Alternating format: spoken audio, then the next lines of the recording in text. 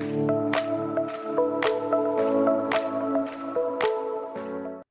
welcome to this week's episode of Leadership Soundbites with Roko and Michelle. So this week we had a few we were picking between and stuff, and so we're gonna we're gonna um, kick off with we'll care about the quote, but the topic is the power of leadership development, and we'll unpack a little bit more on that. We have a few quotes, as not surprising. Uh, first one is in the world of leadership, development is not an option, it's necessity. It's the path to innovation, growth, and lasting success. Um, you and I talked about this. And when I think about leadership development, because we talked about development initially, right? And the, it's so broad. But when I think about leadership development, it literally takes me to this place, and not necessarily I have a title, but who am I? What's my responsibility? What's my main focus? And to your point, we go back to Margie, I've got to start with me. Mm-hmm.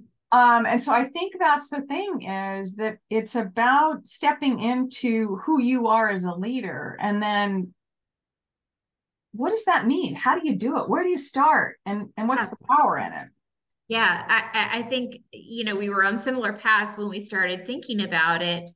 Um, from an organization, right? Both of us are have worked in in corporate worlds, and it's like we spend a lot of time budgeting for resources and thinking about the future of that organization and investing in those tangible things like buildings and um, you know all of those capital driven things but we spend very little time thinking about how do we develop the leaders who are actually delivering and you know creating the future of the organization. And, um, you know, we go to school for some technical expertise. Mm-hmm. Physicians mm-hmm. go to become doctors. Leaders might go in some specialty like nursing because we're in, we've been in healthcare mm-hmm. or even in manufacturing you have your engineers mm-hmm. or if you want to go into administration so you're le- learning a skill around that but very little is spent on developing you as how do I show up as a leader of some team mm-hmm. um, or of some function or of some organization? What are those skill sets and mindsets that I need to develop to be my best self to serve those people as well? So it's just, yeah. And I'm going to go back. To, so there's a my brain was firing in a number of places, right? Because it starts, it I start making connections to the leaders that I'm coaching. Um, a lot of the topics that we have surface from what we're living in with day to day and what surfaces is in the world right now. So there's a there's a couple places I went when you were talking, right? It's it's one of the things that I'm looking at to go as organizations go through and develop AOPs to budgets for next year, right? Um, next year tony robbins might call it winter season next year is going to be freaking tough by everything of what i'm seeing that organizations are going through what organizations are preparing for. And i think one thing that that is challenging for organizations is i watch them cut off resources to the topic that we're talking about around leadership development which is like cutting your nose off to spite your face because if you can't if you don't develop the capability of your leaders to engage with your staff at every level of the organization you are not going to have the impact that you need to thrive with the winter season that's ahead of us okay? So that's one path i went. The other one i went down is how powerful it is at, from a coaching perspective because you do this too I coach leaders at all levels. So, you know, up to CEOs of organizations. The thing we have in common is every single person at every single level is on their own development journey. Mm-hmm. There isn't any leader I do. I, am talking like the top of the house yeah. Yeah. because we're humans, even though we have this title. And so, one leader I've recently been working with, it, he's very well intentioned um, but very command and control and not in a bad way. Only it's like he gets assigned a project. He has he has people that he's going to be working with as senior director. And so his thing is when I'm coaching him, he talks to me, he goes, So, you know, I'm doing this. We've set the meeting. I sent the agenda. I've done some thinking on what we have to do to be able to accomplish this thing, right? Across different branches. And I said, Great. And I said, And what assumptions are you making about the people that are running those other branches? What? I said, Because you mapped all this out. So what assumptions? And he looked at me and he said that they don't know how to do this. And I said, Exactly. And I said, So how can you find out mm-hmm. the truth? So he took a completely different path. And this is a leader that had lots of experience, military background, lots of experience. I think the power in leadership development, like we talked about before, is the willingness to develop and be open to some way different of engaging your team, regardless of how far along that journey you are yourself. Mm-hmm. Yeah. Yeah. You know, uh, one of the things we were talking about offline and in, in that same vein is um, around it, it's not you developing or creating additional leaders, but it's how are you impacting hmm. people that you're interacting with? And is it in a positive way? Is it mm-hmm. creating mm-hmm. positive change? Is it creating positive momentum towards some some result or something, right? Um, and and what you just what you just expressed in that story, what was coming to me was he was so focused on what he knew and mm-hmm. again those unquestioned assumptions about what he knew but he wasn't really thinking about what was the positive impact that he might have on mm-hmm. those other areas and so again leadership development is it's it's this beautiful tension between looking inward and looking outward mm-hmm. um, all the time uh, like how am i showing up? What else could i do to show up differently so that again i'm being perceived and i'm having this impact on others in a positive mm-hmm. way? We had uh tansy and i recently did a podcast on the power of accountability and it was the fact that it was like a two-sided coin if you will right?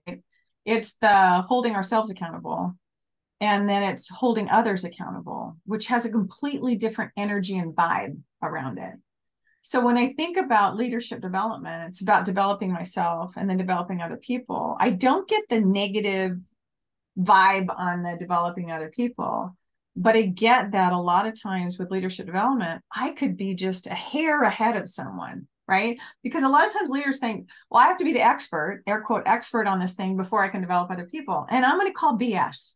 Okay. Yeah. So I don't care if you just learn this concept, right? And you yourself are on this learning journey, trying to hold yourself accountable, and you're not able to do that consistently yet. Bring it back to your freaking team. Yeah. Because you all can learn together. So the hair that you're ahead of them is because I know something and got exposed to something. And then what can we do with it? Yeah.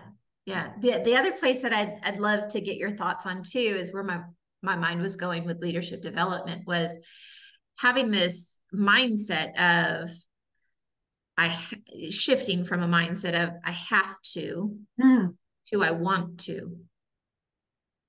So it's not something that, you know, is this chore mm-hmm. that I have to develop um, my leaders, uh, you know, from an organizational mindset, or I have to develop myself as a mm-hmm. chore right? But I want to because there's this, I can see some positive outcome of me doing this thing. So I want to do it because it speaks to my heart, my mind, my mm-hmm. hands, the whole person.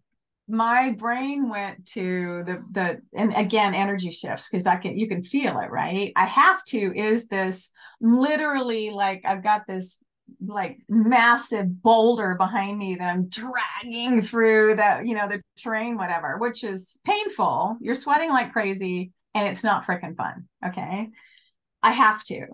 When we shift our mindset to when you said I want to, my brain first jumped to I get to.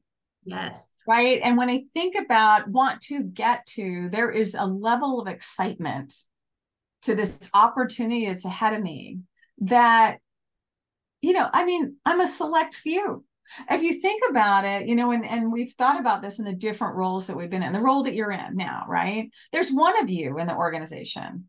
The role that we've been in in previous stuff, there was one of us in the organization. And so for me, that's a opportunity, get to, you know, how, how freaking lucky are we? Yeah. yeah.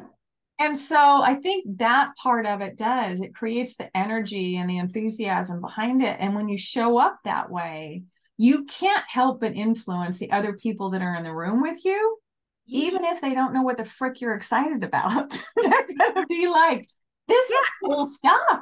yeah. And, I mean, and that's that's where it catapults to transformation and yeah. innovation, like in the in the quote that you that you shared at the very beginning. I mean, that's that is that massive momentum that you get versus this, you know, back and forth. You yeah. take steps, you take 20 steps backwards and, you know, kind of thing. What was cool, I just finished up um, a workshop that we did through Catalysis, and it was about developing, you know, basically being a leader in today's world and becoming the leader you want to be with their skills. So it was a three part virtual. Um, and so this week was the last of the third in the series. And so part of it, as you know, our practice is reflection. And it was really cool to hear through this intentional practice because we're not talking about freaking brain surgery here. None of the stuff that we're talking about, where leadership development is brain surgery. But the difficulty and the ability to commit to something is that's where the hard part is. And so it was really cool to hear leaders' reflection, you know, of, is this working for you? What's happening is the fact that they're actually doing the stuff they knew they were supposed to do, only they're doing it now. And the joy that they had and the pride in themselves that they were actually doing it. So we talk about the power in leadership development. It's the opportunity to pat yourself on the back mm-hmm. because you're doing the stuff. Yeah. Yeah. Love it. So it was cool. So anyway, thank you for this one. I I'm it's a shame I've got no energy around it. Um, and neither do you. No, of course um, not. what are one or two things, Roko, you want people to walk away with on the power of leadership development? I think I want to. I, I want people to walk away with it. It's not an event. Mm. It is a journey, and if you and if you take this shift in how you this paradigm shift of how you look at it that mm-hmm. it's not a i have to to i want to or i mm-hmm. get to mm-hmm. and that there can be some internal joy in mm-hmm. what you do and then it connects more to your values and who you mm-hmm. are that purpose piece of it yeah you have energy around there's it. real power I, it reminded me the other quote from dr seuss um, the more you read, the more things you know, the more you learn, the more places you'll go. Um, and so it's it's that piece as well, and that's the book, right? The, the places mm-hmm. will go. Yeah. Um, for me, when I think about it, and I and I hands down agree with you on that.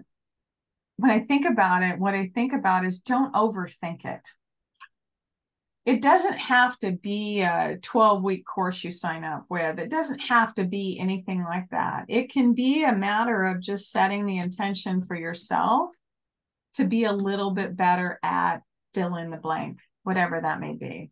You know, listening or pausing. If you're a leader that, you know, you're higher up the food chain, I'm not going to be the first that speaks. I'm going to wait to hear I'm not going to be the answer person, solution person, even though they have thoughts and ideas. So, whatever that may be, it doesn't have to be over engineered. It can be very simple, very organic. Um, and I and I just encourage people to start with that. So anyway, thank you again for this one. I love it.